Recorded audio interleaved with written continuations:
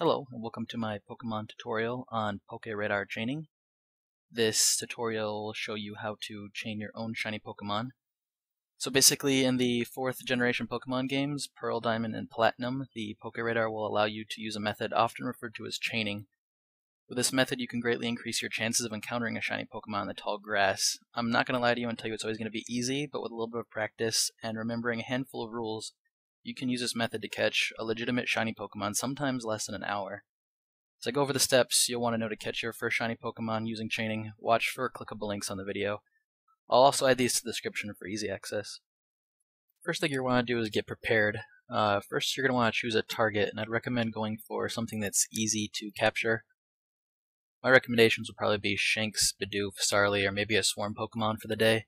Swarm Pokemon have a high appearance rate, and they make chaining a little bit more forgiving if you make a mistake on accident. You're going to want to be careful while catching certain types of Pokemon. It's generally a good rule of thumb to study what you catch before you start training it. This includes Pokemon that know moves like Explode, Whirlwind, or Roar. Make sure you bring abilities that counter things like this to prevent the battle from being ended prematurely. If the Pokemon you want to chain knows a move like Explode, bring a Pokemon like Poliwrath that knows Damp. If the Pokemon you want to chain knows a move like Whirlwind or Roar, make sure to bring Octillery who has Suction Cups. Learning what moves your chain Pokemon knows ahead of time can help you prepare for a potentially frustrating situation that will cause you to lose your shiny before you have a chance to catch it. You're going to want to make sure you have prepared a Pokemon to catch your target. Uh, make sure you have both the high level Pokemon for quickly fainting the Pokemon you want to chain with plenty of power points, also known as PP. Make sure this Pokemon can use uh, its moves at least 40 times without running out of power points. You're also going to want a Pokemon that's ideal at catching the type of Pokemon you wish to encounter. Moves like Super Fang and False Swipe are a good idea because they lower the Pokemon's health without fainting it.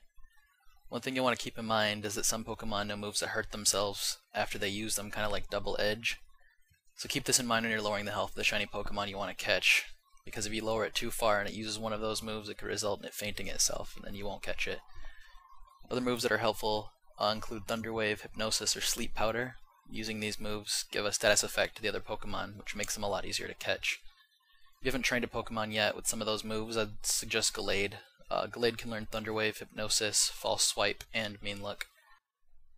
One last thing I want to mention about the Pokemon that you bring with you. Many people that hunt for shinies and actually plan on using them competitively use a fainted synchronizer in the lead of their party. Bringing a synchronizer in lead your party allows you to have a 50% chance of each Pokemon you encounter having the same nature as that synchronizer in your party. If you don't want to use the synchronization trick, you can also uh, improve your chances of keeping your chain by using Pokemon with abilities like Static, and that would actually improve your chance of chaining an electric Pokemon, or Magnet Pull, which would do the same for Steel types. You're going to want to make sure that you have both the Poke Radar and the Pokemon application number 20. The PokeRadar is obtained after you defeat the Elite Four and have completed the Sinnoh Pokedex. What you have to do is go talk to Professor Rowan in his lab, and after doing this, you'll be rewarded with the Poke Radar. You'll need this device to chain um, before you can go for shinies with it. You're also going to need, uh, like I said before, Pokemon application number 20. You'll need to visit the Pal Park, and after you do that, Professor Oak will hand it off to you. He'll basically just give it to you on your first visit out there you don't already have it. The application keeps track of how many Pokemon you've chained, uh, what Pokemon you're currently training, and it will also alert you if you have accidentally broken your chain. Chaining can actually be pretty expensive. Before you gather supplies, you're going to want to make sure you have plenty of cash. If you're low on funds, I'd suggest using the Versus Seeker to fight the Gentleman and Socialite on Route 121, south of Hearthome City. If you put an Amulet Coin on the lead Pokemon that you fight them with, you'll get about 24,000 Poké Dollars each. Um, what you're going to want to buy are a whole bunch of uh, repels, at least about 300. Max repels and super repels will both be fine. Um, max repels aren't as cost efficient as super repels in terms of steps taken for the dollars spent, but they do allow you to spend a lot more time chaining and a lot less time opening your menu and respraying yourself.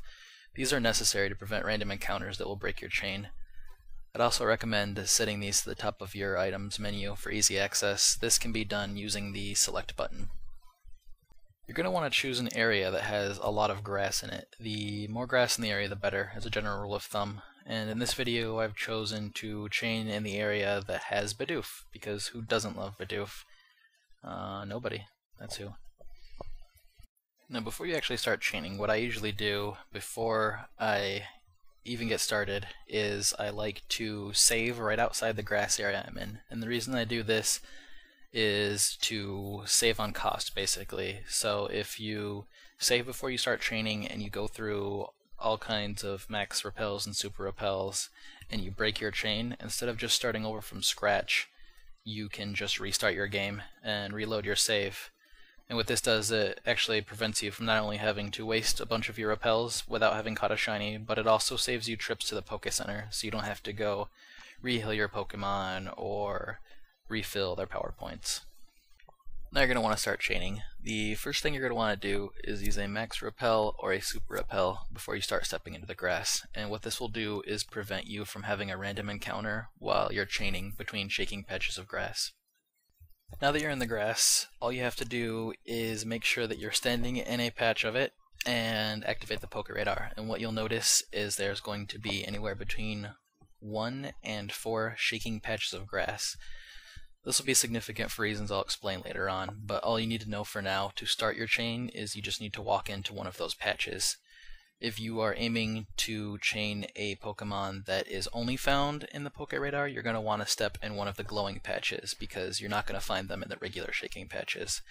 It's also helpful to remember if you are going for a Poke Radar only Pokemon that you're going to have to make sure every subsequent patch you step into is also a glowing patch.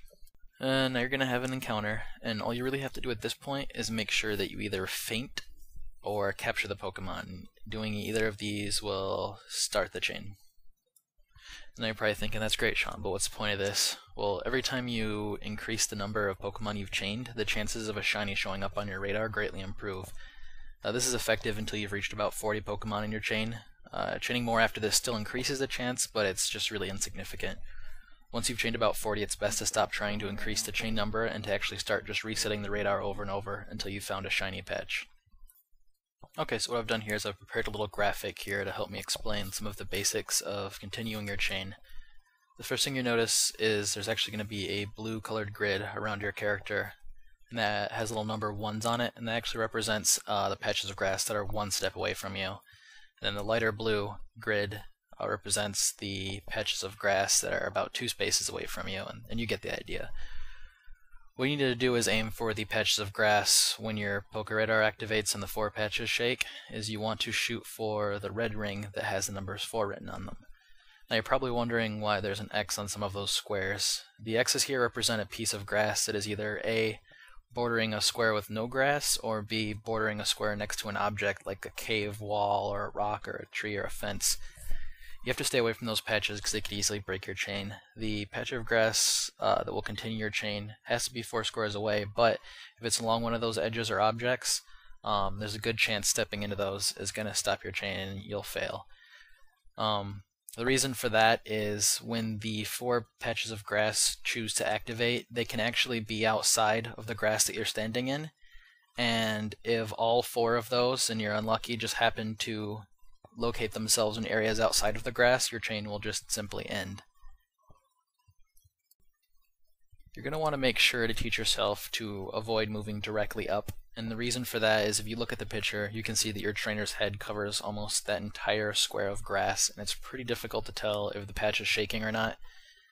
Um, the only time I'd actually recommend moving directly up is if you reset the radar and you actually see all four patches of grass shaking and you know the one above you isn't one of them.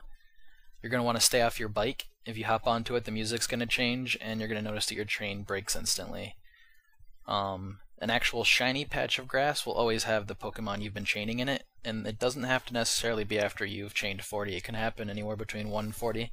40 is just what you want to shoot for, because that's when your chances are really good. Um, don't let your excitement get the best of you if you do see one. Just stay focused on your screen, approach it carefully. You don't want to bump into one of those non-shiny patches and break your chain. Um, if you do catch or even faint that shiny Pokemon, your chain will actually continue, so you can keep catching more shinies after that initial one. And a lot of times, that's what you'll try to do. We've already went over a couple things that can break your chain, but just a reminder of all the most common things that will break your chain. um, make sure that you do not step in the patch of grass above you or in the shaking patches in these zones in the graphic that I have up between 1 and 3. You always want to go in the shaking patch of grass that's 4 spaces away from you or you will likely break your chain. Make sure that you always have a max repel or a super repel on your on your trainer at all times. Um, you don't want to ride your bike and you don't want to run away from the wild Pokemon or be kicked out of the battle with it for moves like Roar or Whirlwind. There's another thing to note too. If you uh, see a shaking patch of grass that's four squares away and it's adjacent to another shaking patch of grass, which is basically above it, below it, or to the left or right of it, just reset the radar. Sometimes if there's another patch directly adjacent to the patch that you want to go for, it seems to break your chain. So just avoid it. Reset the radar. It's better to play it safe. Um, once your chain's started, you need to stay in the grass area that you're in and you can save your game at any time, but turning it off and reloading the game will break your chain. You can put the game into standby if you want to take a break, and that's typically a good idea because if you start getting bored or tired, you'll probably mess your chain up. You're probably wondering what a shiny patch actually looks like. Here's a shot of a shiny patch and a clickable link that leads to a video of what the shiny patch looks like in game. Trust me though, when you see it you'll know. The shining patch containing your shiny Pokemon stands out from all the previous patches you've seen. It'll pulse twice with a bright color, and it'll last longer than the normal shaking or glowing patches that you've been seeing.